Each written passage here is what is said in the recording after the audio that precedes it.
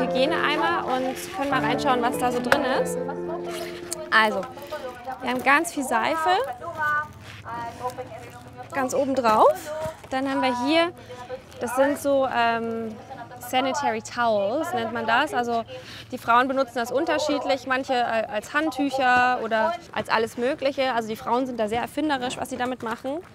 Dann haben wir hier ähm, Zahncreme und äh, Zahnbürsten natürlich. Und es gibt jede Menge ähm, ja, so eine Art Kernseife zum Wäschewaschen.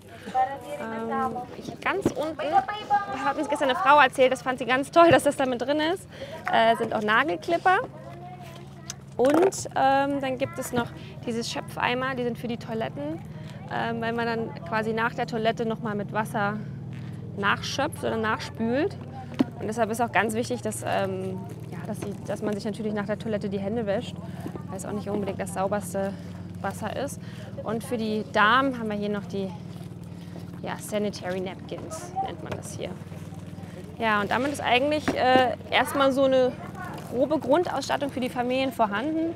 Und man sieht natürlich auch, dass das sehr gut angenommen wird und wurde uns auch schon mehrmals jetzt erzählt auf unseren Besuchen gestern, gerade von den äh, Frauen, dass sie da sehr, sehr dankbar für sind, dass sie erstmal Wäsche waschen können, dass sie sich waschen können und ähm, ich glaube, das trägt ganz viel zum Wohlbefinden bei.